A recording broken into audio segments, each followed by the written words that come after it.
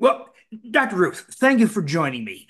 I, looked at your materials and I started to realize well, you are one of the few people who actually understand this oxalate issue and doesn't jump on these silly bandwagons where people uh, make wild claims about how to manage it with such things as nutrients uh, or um, supplements or diet.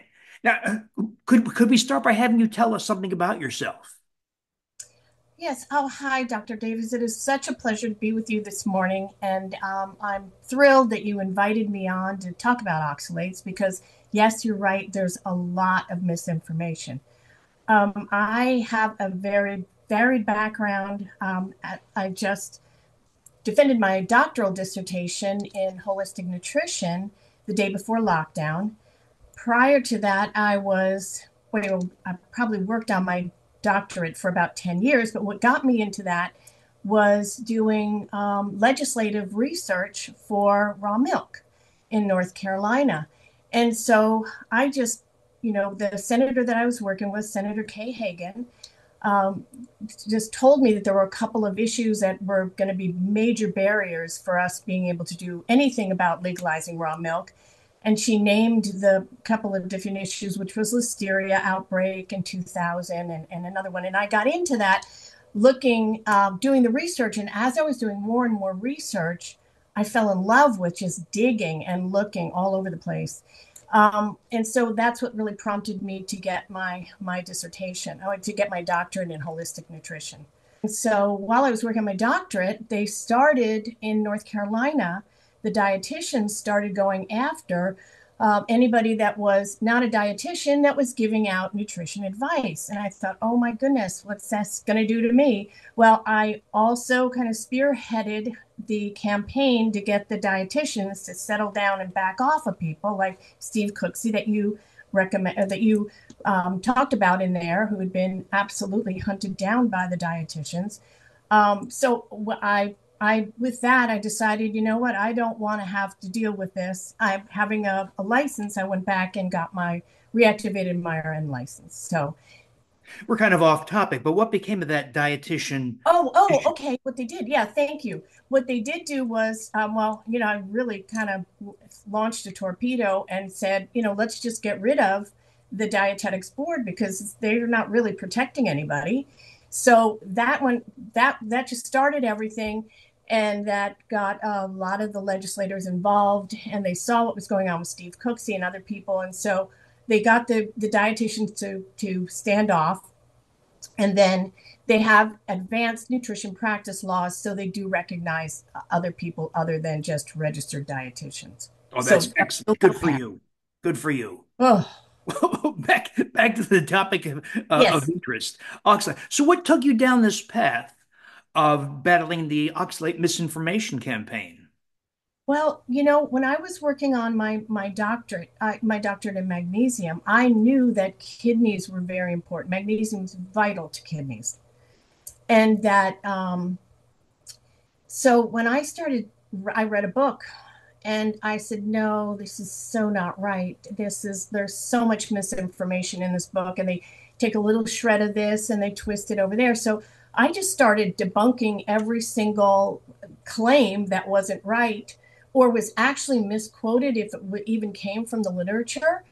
And you know, the one one thing that um, jumped out at me in the book that said, "Don't think for a minute that a probiotic can help you or has really basically anything to do with with oxalates." And I thought, all right. So I, I really got into that because of magnesium. And actually, magnesium is wonderful. It's a um, an antagonist to oxalate. When your magnesium is low, then you know oxalates and a whole bunch of other things are going to go wrong in your body. So that was really what kind of led me into that path. I, I, saw your slide deck and you summarize the science very nicely. You want to talk about the use of low oxalate diets for high levels of oxalate, and and why is oxalate even a concern? Well, oxalate is is a concern because you know kidney stone disease, and there are three different types, but the majority are calcium oxalates, and magnesium and calcium are kind of paired; they're antagonists. They they work in tandem, just like sodium and chloride do.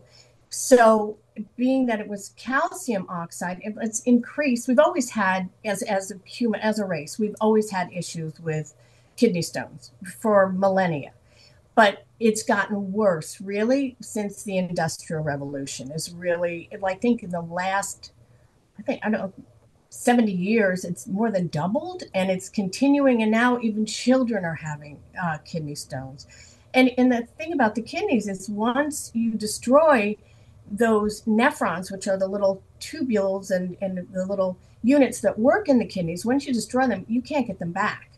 So, you know, it's really dangerous. And you see, you know, every other block now has a dialysis, you know, center. You know, that's that's really disturbing. So, um, anyway, oxalates can be really damaging to the kidneys. So it's, you know, important that you look at it in terms of a low oxalate diet well, really, that's okay, but that's not a fix because what the literature says is, and what they've shown historically, is once you lower the oxalate or remove it from your diet altogether, you lose the ability to be able to clear it, and then you absorb even more. Know, I know that I've seen the evidence that suggests that high levels of oxalate blood and urine can be blamed, at least in part, for a lack of lactobacillus and bifidobacteria species yes. which of course you and I interpret as dysbiosis and perhaps SIBO, small mm-hmm. intestinal bacterial overgrowth, where we have mm-hmm. mm-hmm. uh, fecal microbes, proteobacteria, replacing many of the beneficial bacteria, including lactobacillus and bifidobacteria. Have you come across much of a conversation relative to SIBO and oxalates? Yes, absolutely. It's the number one thing that's driving the, the oxalates in terms of, and, and like I shared in my in my slide deck that actually it's not oxalates don't just come from the diet we make them inside and that you know it's part of the glucose pathway so if you're eating a diet that's high in glucose and you know and sugars and soda and all the other garbage that's in processed food you know your body can't clear that and it's going to build up oxalates then you decide you want to go on a healthy diet and have a spinach smoothie well, that is just like a, a torpedo of oxalates. And a lot of people have had acute kidney injury due to that kind of overload of oxalates and the inability of the body to clear it. So, the other thing, Dr. Davis, that's so important for everybody to understand is that we don't have any enzymes as human beings to be able to clear oxalates. We require um, oxalobacter, um, that bacteria to be able to help us clear it. Now, there are a whole bunch, and they're finding way more, as you pointed out, with the, the lactobacillus, that there are a lot of other bacteria that are in there that can also clear um, the oxalates. But if your gut is destroyed and you don't, you're overloading on processed foods, and then you decide you want to have a spinach salad, then you're going to have issues. It all makes sense, doesn't it? When you step back and you recognize all that's gone wrong. Mm-hmm. Some of it aided and abetted by dietary guidelines, of course. Oh, yes. The proliferation of ultra processed and processed foods and the dominance of the processed food industry, combined with, of course, the atomic bomb of antibiotics on your microbiome, as well as other factors.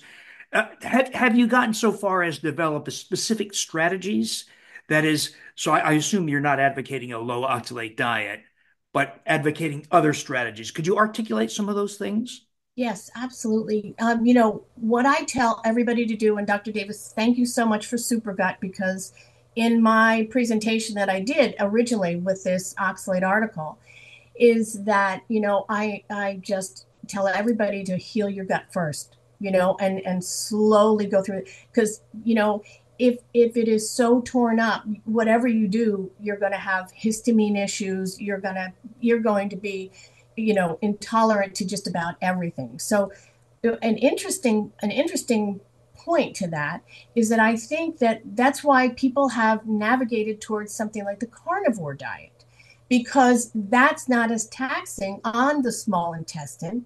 You can get your nutrients you can heal you can avoid histamines and and um, all these other things that are so hard for the small intestine to handle. You know, it's it's really interesting that um, plant foods, you know, we talk about polyphenols and, and flavonoids and all that other stuff. those are actually recognized by our small intestines as as xenobiotics, which are like not us. They're anything other than human. Whereas, like on the carnivore diet, you're eating fat and protein. That is like us. That's easier for our intestines to be able to digest. So I think that's really what has in a way driven a lot of people to carnivore is because they can get rid of all of the 8000 different kind of chemicals that come with plant foods you know and and heal so that's what i tell people to do is to really you know pull everything out and go slowly slowly work back just go with pure whatever proteins that you can have that are you know originally sourced whole food proteins and then slowly add things back in little by little. And then definitely, uh, you know, getting on this the supergut um, yogurt is critical. And I think yes, with the you brought up that the L-reuteri sometimes releases histamines, but again, if you're taking that slowly, it's okay. I think another really good thing that you have brought out is the S. boulardii fruit drink. I think that that does also help. Maybe I think that is one of the things I tell people to start with, something slow. They get into being able to ferment things. It doesn't take long. You can't really do anything. It's not quite as not that the yogurt is complicated, but the um, the Boulardii drinks are, are pretty easy, and you can watch it and you can just sip a little bit, you know, and that helps to then start reseeding the gut and restoring the gut. What role do you see for uh, fermented vegetables? Oh, absolutely. You know, you know, one of the things that this one book talked about is how vegetables, we don't eat these kind of vegetables. Nobody ate these kind of high oxalate vegetables. Oh, yes, they do. And yes, they did for a long time. And because that was one of the things that I went back and looked at. I was like, wow, you know, what do we ever do? Well, um, it turns out to answer your question, it turns out that fermenting helps to to degrade and reduce all the oxalate content. And that's why we've been doing that for so long. That, you know, we knew that and we didn't know it under a microscope, but that's what our ancestors did. And they're doing it all over the world. And, you know, even originally being part of that carnivore, because I had to heal my own gut, I had a whole bunch of histamine issues. But I started to think before I really started getting into the oxalates, I started to think, well, you know, what's wrong with eating just all meat and, and, and fat. You know, the, the Eskimos don't get five servings a day of fruits and vegetables. Boy, was I wrong. When I started digging, it turns out, yes, the Inuits and the people in the in the, the Arctic regions actually eat a lot of high oxalate foods. They but they ferment them and they store them and they put them away and they know how to prepare them. So yes, we do need to have, as Dr. Davis points out all the time, we do need to have a full range of, of different things, not just for us, but to feed our microbiome and to keep it healthy and flourishing. And really, now that's the way I tell everybody to eat. You're eating for your microbiome. That's your other half. We're like Siamese twins. You know, what excites me about the whole microbiome aspect of controlling oxalate levels is the science that tells us that various microbes reduce oxalate by different mechanisms, mm-hmm. which of course suggests that there may be synergies where two plus two equals 10. Absolutely. We can get a much larger effect than yes. you might say with just following. Have you have you come across any? Well, has this led to any concrete strategies beyond, say, fermented foods or lactobacillus reuteri? I, you know, with oxalates, it's not quite quite your answering your question. But another thing is uh, it's the number one predictor of antibiotic use. And they only figured that out when they were using antibiotics to try to get rid of um, Helicobacter pylori. And then they found that the oxalate levels dropped. So the, the oxalobacter levels, sorry, of, of that particular strain that gets rid of it. And so, you know, primitive living, primitive cultures in developing countries, they have that bacteria, and and we don't. But anyway, it's just like so much is just ex- it's it's exploding in the last little while, and I think Dr. Davis again. That's what's so exciting about the research work that you're doing and finding the exact strains specific and not just going off trying to find a probiotic because I know a lot of people ask, is there a specific probiotic for kidney stones? And, and the answer would be no. You just need to kind of heal your gut and rebuild what I call is like an orchestra in your gut. Because, you know, you can't just play with one, one group, or you know, worst case with processed food, have a whole rap party in there, rap music. That's not going to make the right right tones. And you know, I, I think another thing that I point out that I found in doing this research is that upwards of like 60% of the metabolites that are in our blood come from gut microbes. So, you know, there's so much that they're doing for us that we don't even recognize and we've ignored them because we have just been human centric. And I think a lot it goes back to, you know, this whole um, perspective on oxalates are horrible, don't eat them, is because that's human centric. And I think that's also what's so lagging in med- medicine right now is we just are so focused on our numbers and we're not looking at what's going on with the gut yet. You know, I'm thrilled that you've been able to connect the dots. So few have. Um, and I, I, I couldn't agree more, Ruth, that, that the, the insight to the microbiome make us realize how little we actually knew about health. Oh so Absolutely. many things are giving way to the emerging microbiome. It could be oxalates, could be uric acid, it could be pancreatic cancer and gallstones. Mm-hmm. So, mm-hmm. yeah, I think you've come to the same conclusion I had, and that is yeah. if you want full control over your health in this age of health disasters and health mismanagement, you really have to understand what's going on in the microbiome. I love your orchestra analogy because I think that's true. If, if all you do is get a tuba and a timpani, you're not going to have much good music. no. no. Well, Dr. Ruth, thank you very much. I value your insights. I'd like to keep this conversation going in future and bring you back with some regularity, bring, bring us updates on how this science is unfolding. Thank you. Thank you. It's been a real pleasure.